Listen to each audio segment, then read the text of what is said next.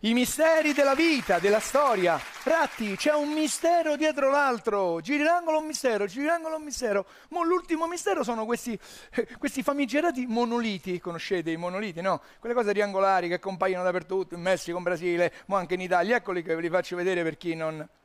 Ecco, questo è un monolite, questo è un monolite. Sono misteri, cari amici a casa.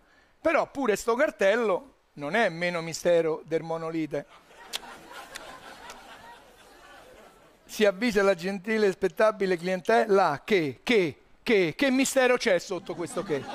Oppure questo qua, attraversamento Rospi, andate ad agio. Questo pure è un'altra cosa, questa qui, vagli sotto, vagli sopra, dai, siamo tutti con te. Guarda quest'altra, ti vedo di fermata per contestare prestazione sessuale, capito? Capito, dottor Ratti? Pure lei c'ha un sacco di tempo libero questa cosa, eh? Bel sedere, ovino. Eccolo qua, pure questo è molto bello. Caduta castagne nel periodo autunnale, perché a luglio-agosto ne cascano onestamente poche di castagne.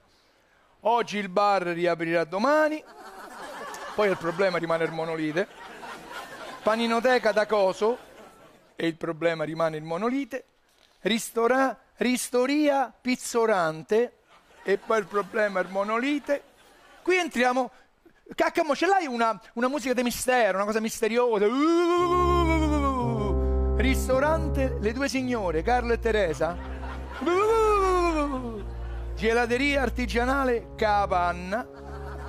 Eh, questo, e questo, con questo, veramente con questo ragazzi vi saluto, ci vediamo la prossima settimana.